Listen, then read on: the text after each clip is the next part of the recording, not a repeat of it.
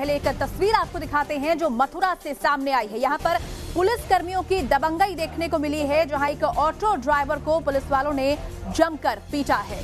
तस्वीरें आपको दिखाते हैं किस तरीके से मथुरा से पुलिस वालों की दबंगई की ये तस्वीरें सामने आई हैं।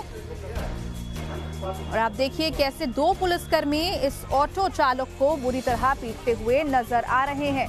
ज़मीन पर गिराकर इसे पीटा गया। एक पुलिस वाला यहाँ पर ऑटो ड्राइवर के ऊपर चढ़कर बैठ गया। और उसे हाथों, उसके हाथों को दबाकर उसे पीटा। ऑटो वाले ने यह भी आरोप लगाया कि उसे जबरन हथकड़ी लगाई गई और थाने में डॉक्टरी जाँच होने के बाद भी उसे पीटा गया है। पूरे मामले पर पुलिस अब टालमटोल करती हुई नज़र आ रही है, लेकिन ये तस्वीरें बानगी हैं कि किस कदर पुलिस वालों की दबंगई देखने को मिली है। यहाँ पर पुलिसकर्मी इस ऑटो वाले का गला दबाता हुआ नज़र आ रहा है और ऑटो वाले ने यह भी आरोप लगाया है कि थाने के अंदर भी इसकी पिटाई की गई।